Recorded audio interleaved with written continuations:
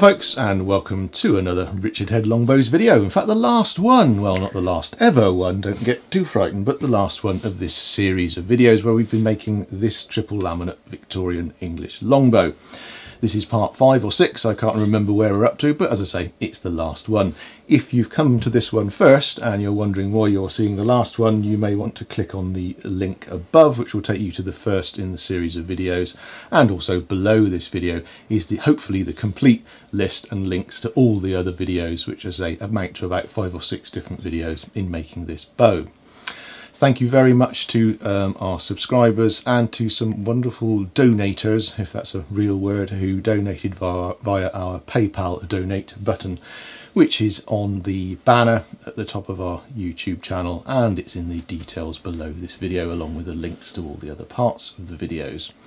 Thank you to them for making um, donations and making these videos possible. They take us months to make these types of videos where we're doing a, a long series like this. Um, if you want us to continue doing these sort of long-winded bow making series of videos, um, consider donating. Uh, it takes us a lot of time out of the workshop to make this sort of thing and edit them together. If you've got any idea about making videos or editing, you'll know how long it takes to make these sorts of things. And uh, yeah, if you don't, well, then we aren't going to be able to make these sorts of videos and it'll be just some smaller silly ones that we've got time to do when we've got nothing better to do. We like those. Eh? Yeah, we like the silly ones occasionally. So yes, we're here, we're here to help you make bows and arrows with our million years of knowledge and expertise, and also yeah, a bit of fun along the way. Uh, the reason I've got Richard here today is because he's going to be doing the last part of this particular bow. The easy bit. The easy bit, which is putting on the handle. And it's going to be much easier for me to be able to operate the camera and film someone else doing this fiddly job rather than trying to do it myself. All the other videos that you've seen have all been me filming myself, making it. Well, this is going to make it a lot easier having Richard here. He just happens to be visiting, so it's going to be a lot easier for me. Maybe not so easy for you, but a lot easier for me.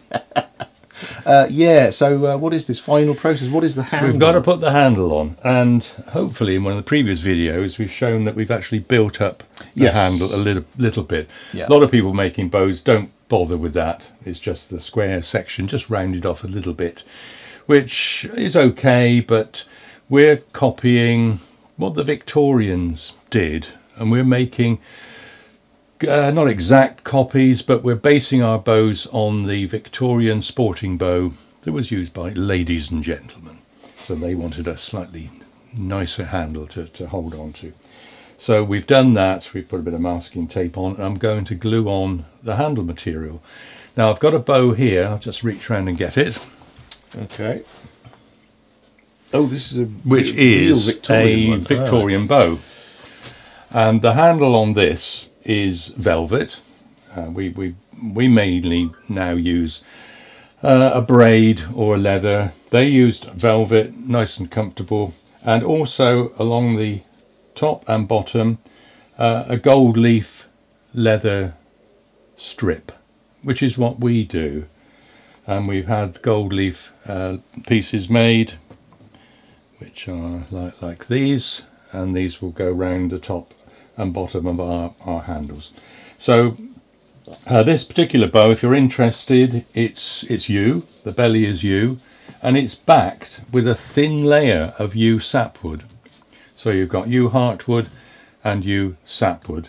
And the sapwood, um, they haven't bothered to follow the line of the grain.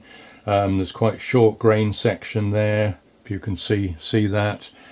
Um, but looking at the arrow plate, and there's a mother of pearl arrow plate set in, which is what we do, you can feel a groove in that arrow plate. So this bow has shot an awful lot of arrows without any problems.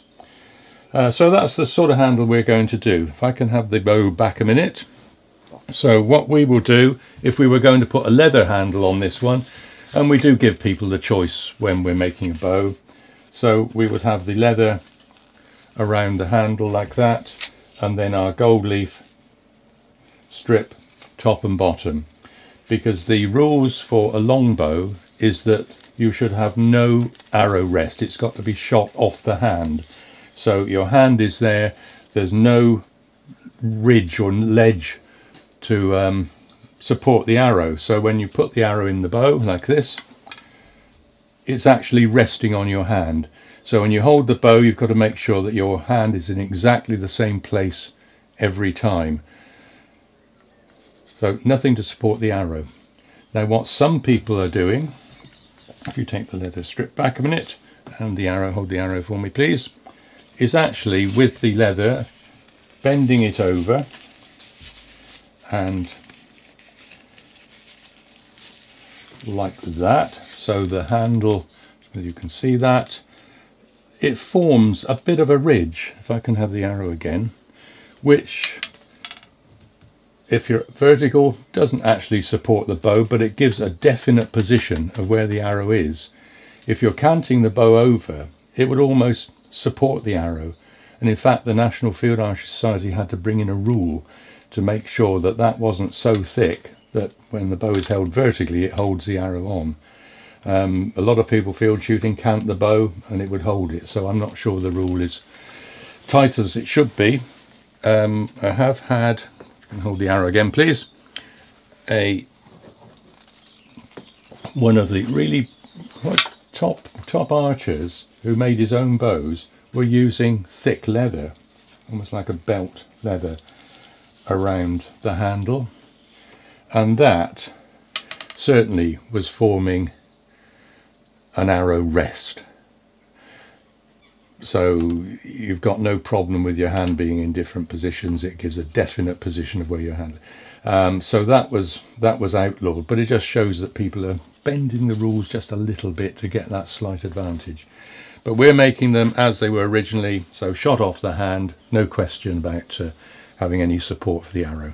Right, I'm now going to put the bow on the bench, get the handle material to hand, glue on the handle material and the leather trim and finish it off.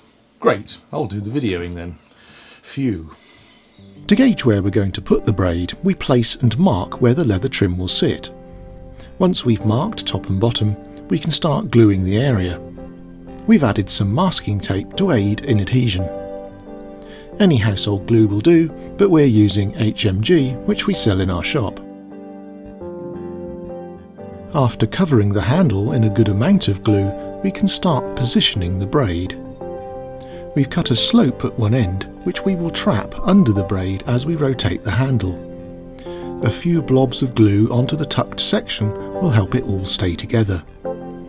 It's then a case of winding the braid carefully onto the handle.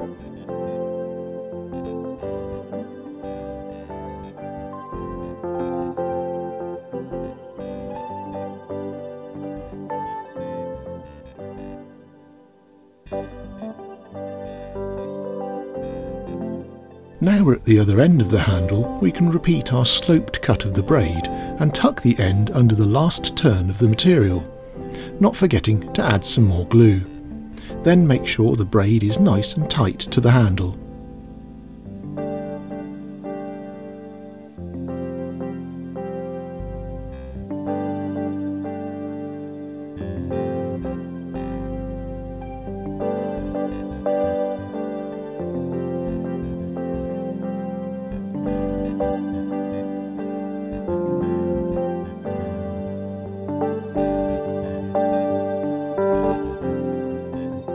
It's time to glue on our gold leaf leather trim. We start by wrapping it around to get the approximate length that we need. Then, much as we did with the braid, we run some glue on the handle, including the top of the braid where we're going to overlap. We also place some glue on the back of the leather as we're going to use it as a contact adhesive this time. With both surfaces glued, we need to wait a few minutes for it to go tacky before we can place the leather. Being careful to get the leather in the right place, we can begin attaching it to the handle. Once we're happy with the placement of the leather, we can overlap the excess and carefully make a join by cutting with a sharp knife and then butting those two ends together.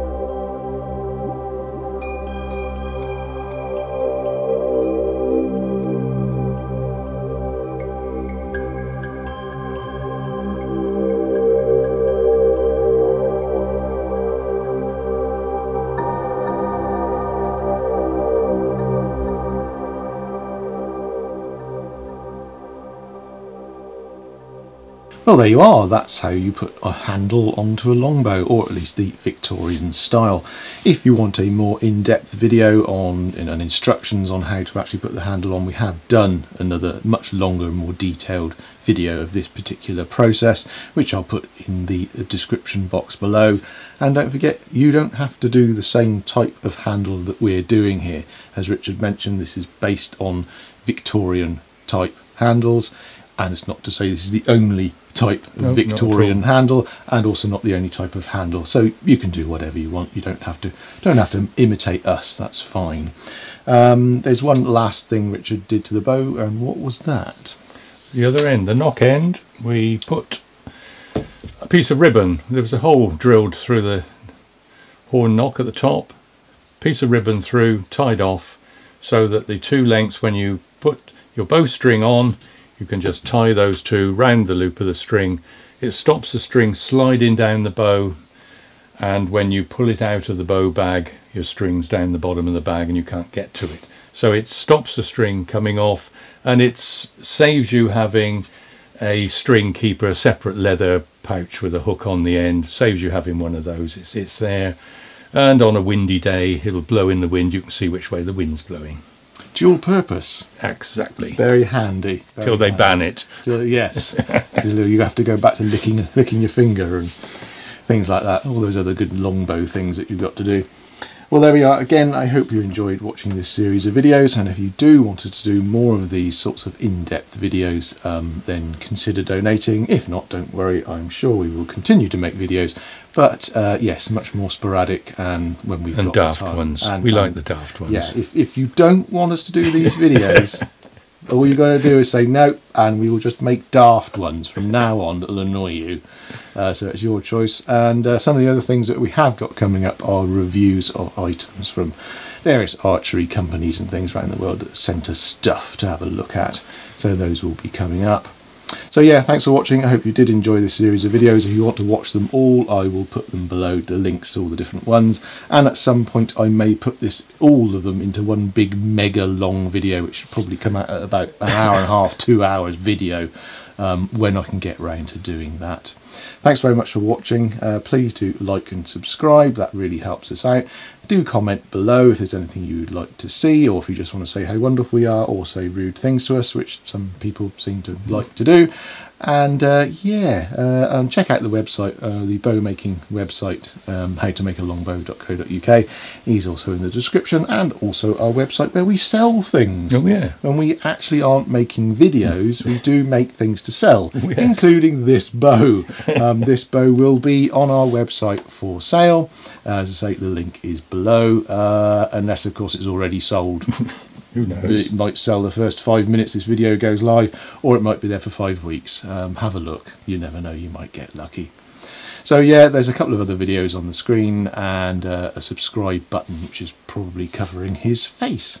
So please do click that if you haven't already and hit the notification bell, which a lot of people don't know about, so you actually get notified when the new videos come out. Thanks again, and we'll see you soon for more silly bow making videos. Yeah.